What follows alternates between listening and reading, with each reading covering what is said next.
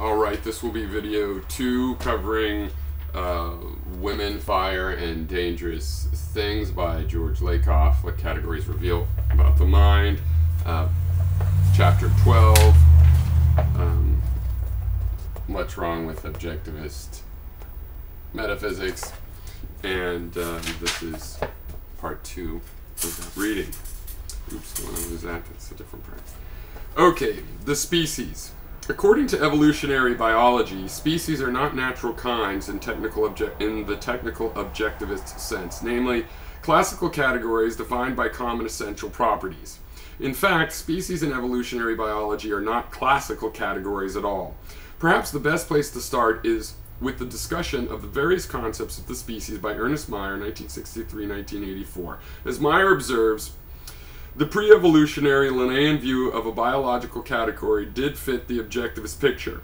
The typological species concept, going back to the philosophies of Plato and Aristotle, and thus sometimes called the essentialist concept, was the species concept of Linnaeus and his followers.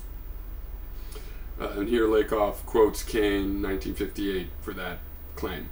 According to this concept, the observed diversity of the universe reflects the existence of a limited number of underlying quote unquote universals or types, the eidos of Plato, the presence of the same underlying essence is inferred from similarity, and morphological similarity is therefore the species criterion for the essentialist. Mayr, 1984.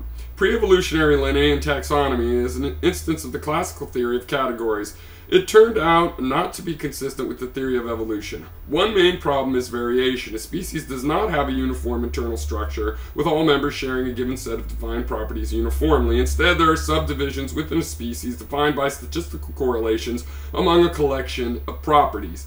As David Hull puts it, after evolutionary theory was accepted, variation was acknowledged as the rule, not the exception. Instead of ignoring it, tax, uh, taxonomists had to take variation into account by describing it statistically. No one specimen could be typical in any but a statistical sense. Species could no longer be viewed as homogeneous groups of individuals, but as polytypic groups, often with significant subdivisions. Polythetic definitions in terms of statistically covarying properties replaced essentialist definitions. Hull, 1984, page 1, page 587. In this century, attempts have been made to define the concept of species in such a way that it would play an appropriate role in evolutionary theory.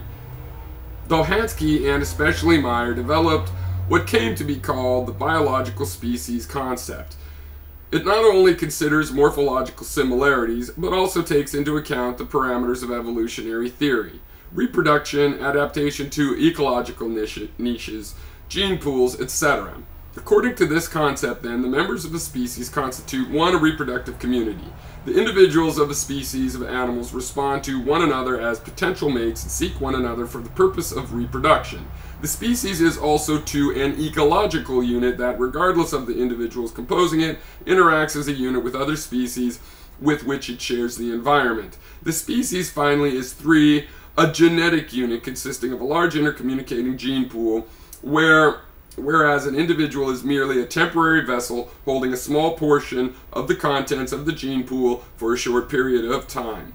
The species definition that results from this theoretical species concept is species are groups of actually or potentially interbreeding populations which are reproductively isolated from other such groups. Mayr 1984 page 533.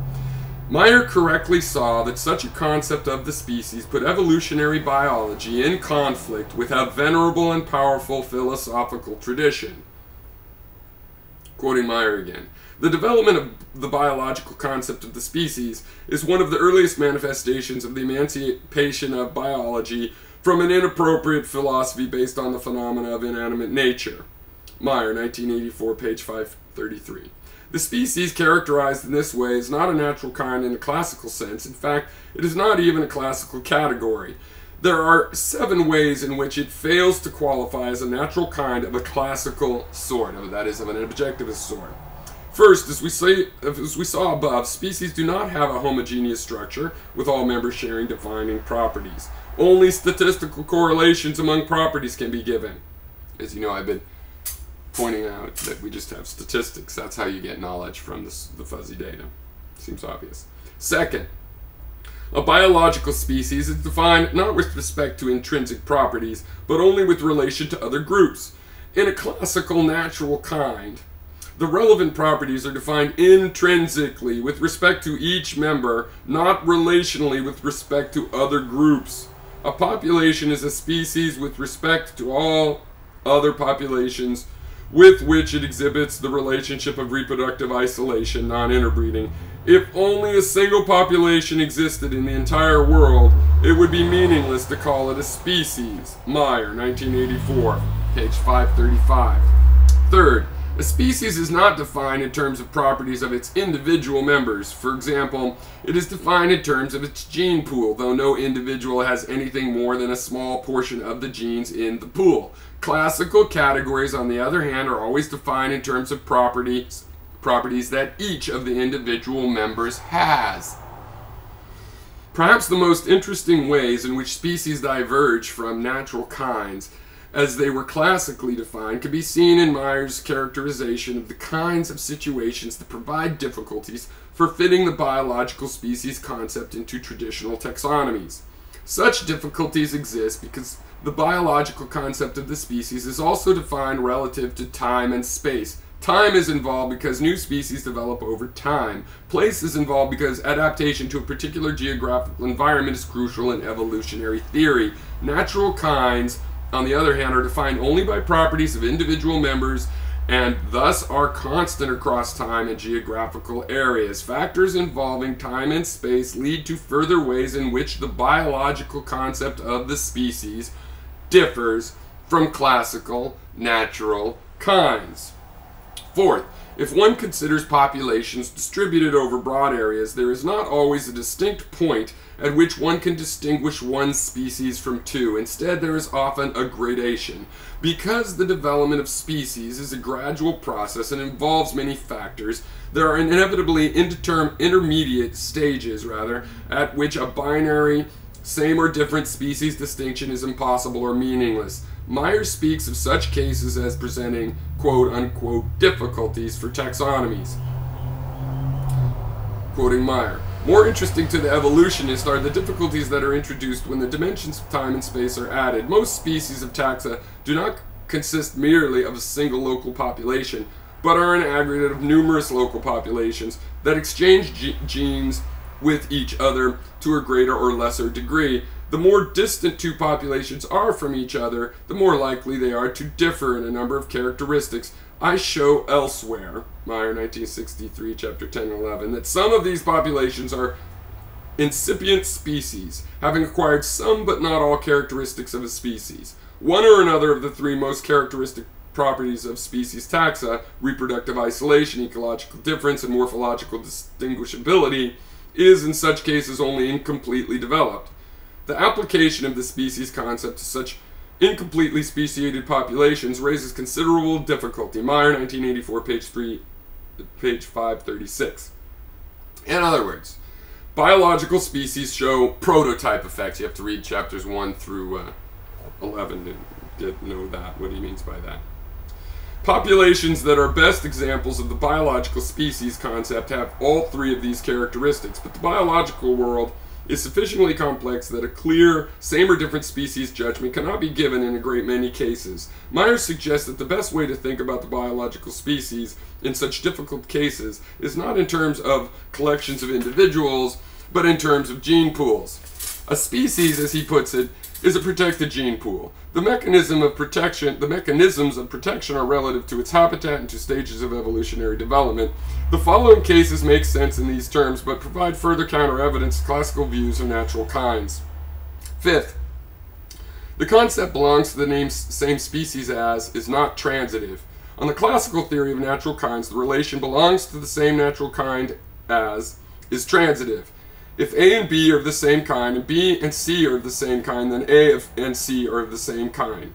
Myers cites a class of cases well known in the biological community where transitivity fails. As he puts it, widespread species may have terminal populations that behave towards each other as distinct species, even though they are connected by a change of interbreeding populations. Mayr, 1984, page 536.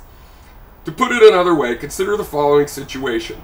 There is a sequence of adjacent geographical areas and a population of organisms in each area. Let us call these populations A, B, C, D, and E. A can interbreed with B, B with C, C with D, and D with E, but A cannot interbreed with E. Are A and E the terminal populations of the change of the chain instances of the same species or not? In a chain of this sort, each adjacent pair of populations act like they are instances of the same species, but the relation is not transitive, since the terminal members A and E meet the conditions for being different species. Moreover, such chains can form rings, where A and E coexist in the same habitat. For a discussion of such racial rings, see Stansfield 1977, pages 438-39, and Dobzhansky 1955, pages 184 to 185. Looking globally at the entire situation, one cannot call these populations either the same species or different species. However, if one looks at the situation locally, one can speak of a protected gene pools in each environment. The classical notion of natural kind with its transitivity condition is defined globally. It must be defined globally since essential conditions cannot change from time to time and place to place. Such real populations of plants and animals in the world thus do not behave as classical natural kinds with respect to the biological concept of the species. Six, the biological species concept cannot be interpreted as having any absolutely necessary conditions.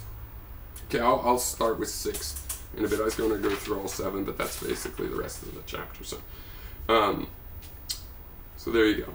It's going to be one, two more. And I'll make comments on, on, on all these issues uh, when it's over because I've already made comments on these in the past. I've already said my version of putting this stuff, but this is just uh, more well referenced. Cheers.